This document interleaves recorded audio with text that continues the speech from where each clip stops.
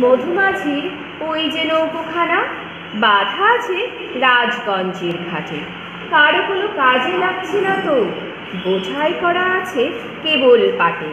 আমায় যদি দেয় দাঁড়া নৌকাটি, আমি তবে একশোটা দাঁড় আঁটি। পাল তুলে দিই চারটে, পাঁচটা, ছটা মিথ্যে ঘুরে বেড়াই না কো হাটে। আমি কেবল যাব একটি বার সাত সমুদ্র, তেরো নদীর পার। তখন তুমি কেঁদো না, মা যেন।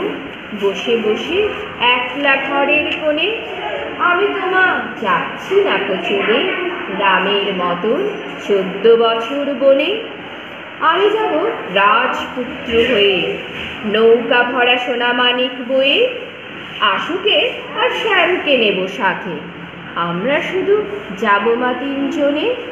আমি কেবল যাব একটিবার সাত সমুদ্র, তেরো নদীর পার। ভোরের বেলা দেব নৌকা ছেড়ে দেখতে দেখতে কোথায় যাব ভেসে?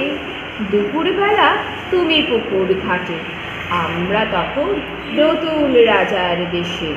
পেরিয়ে যাব তীরপূর্ণের ঘাট, পেরিয়ে যাব তেপান্তরের মাঠ। ফিরে আসতে সন্ধে হয়ে যাবে। গল্প বলব তোমার কোলে এসে। আমি কেবল যাব একটি বার। সাত সমুদ্র তেরো নদী